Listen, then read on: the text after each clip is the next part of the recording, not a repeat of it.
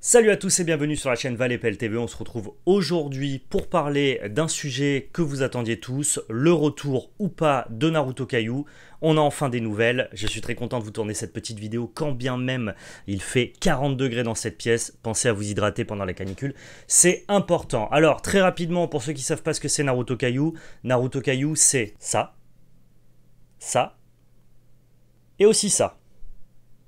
J'ai tourné une vidéo sur la chaîne euh, que vous êtes en train de regarder pour en savoir aussi un peu plus sur ce qu'est Naruto Kaiju, comment s'en procurer, quels sont les systèmes de rareté. On ne reviendra pas en détail sur ce fait-là lors de, cette vidéo. Naruto Kaiju, c'est un TCC pour le marché chinois exclusivement, c'est-à-dire que le TCC euh, n'est censé être distribué que sur le marché chinois. Il a eu tellement de popularité, il est tellement bon, bien fait, en tout cas les cartes sont tellement jolies, qu'elles ont commencé à s'exporter en dehors de la Chine.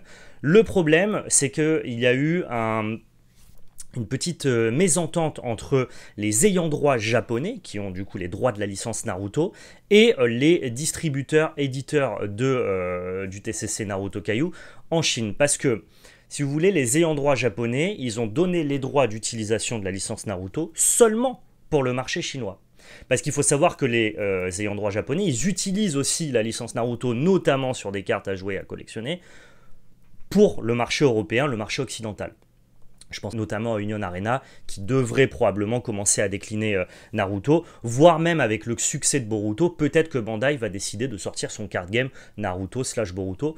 On peut tout imaginer.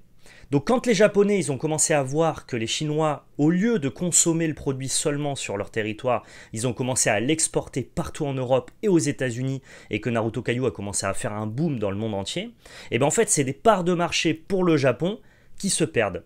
Donc ce qui se passe, c'est que les Japonais, ils ont euh, été voir les éditeurs de, de, cailloux euh, en Chine. Caillou qui est un éditeur multilicence, hein. ils font des cartes sur Naruto, mais ils font aussi des cartes sur Marvel, sur Senseiya, sur Demon Slayer, sur Jujutsu Kaisen, sur tout plein de licences. Et ils ont été leur dire, bon, si vous continuez à exporter nos produits, si jamais vous empêchez pas euh, vos revendeurs, vos distributeurs d'exporter le produit en dehors de Chine, nous, on ne vous renouvelle pas la licence, en mars 2024. Parce qu'il faut savoir que Caillou a la licence Naruto qui appartient au studio Pierrot seulement jusqu'en mars 2024. Et donc ça a mis un stand-by total euh, dans, euh, dans les ventes et dans la production de Naruto Caillou, si bien que ça fait 6 mois qu'une série n'est pas sortie. Ça fait 6 mois qu'on attend toujours la suite de production de Naruto Caillou, qu'on était en total stand-by, personne ne savait ce qui allait se passer. Est-ce que Naruto Caillou allait euh, perdre la licence en 2024 Est-ce qu'ils allaient arrêter de produire? Ça fait des mois qu'on est dans l'attente et on a enfin un communiqué de Caillou qui est apparu le 17 juillet 2023 euh, au moment où je tourne cette vidéo du coup il y a deux jours. Ce communiqué c'est le suivant. Alors je vais vous le traduire, c'est faux. Je vais juste vous raconter entre guillemets ce qu'il dit. Ce communiqué il dit deux choses très importantes. Déjà la série 1, 2, 3 et 4 sur le tiers niveau 4, c'est-à-dire les boîtes de 10 yuan, sont en rupture de stock et sont en arrêt de production. Ces séries-là ne seront plus réimprimé. Deuxième chose euh, qui a été annoncée, c'est là où c'est une extrêmement bonne nouvelle, la production des autres séries est en cours. Ça veut dire qu'après 6 mois d'attente, on va enfin avoir la suite des séries de Naruto et donc peut-être continuer, euh, pouvoir continuer en tout cas à collectionner ce magnifique TCC. Est-ce que les droits qui sont censés prendre fin en mars 2024 ont été renouvelés? J'ai pas plus d'informations là-dessus.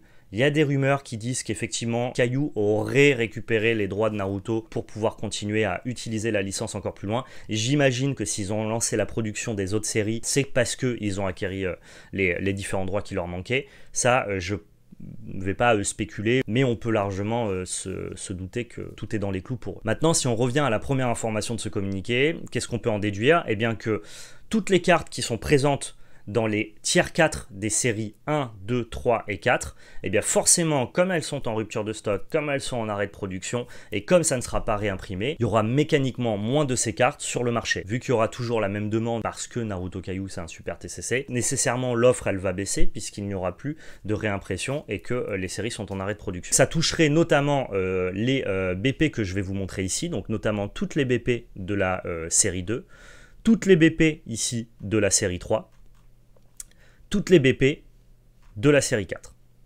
Donc voilà, mécaniquement, ces cartes-là ne seront plus produites. Si jamais vous voulez les récupérer, je pense qu'il est grand temps de vous positionner dessus, parce qu'évidemment ça risque de devenir plus difficile à récupérer. Même si le prix monte pas nécessairement, en tout cas il y aura forcément moins, moins d'offres par rapport à la demande qui est toujours grandissante sur, sur Naruto Caillou. Maintenant pour conclure, euh, je vous demanderai de laisser un pouce bleu si cette vidéo vous a plu, si jamais ce que vous avez appris lors de ce communiqué là vous hype, n'hésitez pas à le partager dans les commentaires. Euh, moi j'ai donc du coup une bonne nouvelle, c'est que nous sommes de retour sur Naruto Kaiju. On va pouvoir continuer à vous présenter ce TCC là, vous présenter notre collection, euh, continuer à ouvrir des boîtes, notamment quand les prochaines séries vont arriver. Je suis extrêmement hypé, extrêmement content de cette nouvelle. Ça fait tellement de mois qu'on est dans l'attente, qu'on a presque mis de côté Naruto Kaiju. Voilà, je voulais pas vous proposer entre guillemets euh, de collectionner un, dead, un dead game quelque part. Donc voilà, c'est une nouvelle qui est extrêmement revigorante euh, et, j'espère qu'on pourra en profiter tous ensemble sur cette chaîne. Si jamais vous voulez plus de vidéos liées à Naruto Kaiju, eh bien dites-le dans les commentaires. On pourrait aussi imaginer des vidéos où je vous présente ma collection de cartes Naruto Kaiju, comme vous avez pu le voir en introduction. Eh bien j'ai pas mal de cartes euh, de, cette collection là. J'aime beaucoup Naruto, c'est ma licence de cœur. Vous le savez tous. Donc voilà, très content de pouvoir continuer à vous présenter euh, du, contenu là-dessus. J'en profite aussi pour faire un petit instant promo euh, sur la carte du jour. La carte du jour, du coup, qui est mon format TikTok et Instagram où je présente ma collection de cartes sur un format court, rapide, concis, précis et où je parle de l'histoire de chaque carte que je montre. Il y aura évidemment du Naruto Caillou dans la carte du jour. Il y en a déjà d'ailleurs si jamais vous voulez aller lâcher un petit follow. Peut-être que le format vous plaira. Je présente aussi du Pokémon et de la carte Dragon Ball Vintage qui sont du coup mes collections de cœur. N'hésitez pas à laisser votre meilleur pouce bleu si la vidéo vous a plu, à partager dans l'espace commentaire. On est de retour sur Naruto Caillou, ça fait extrêmement plaisir. Et surtout n'oubliez pas, c'était de la belle magie. Ciao tout le monde.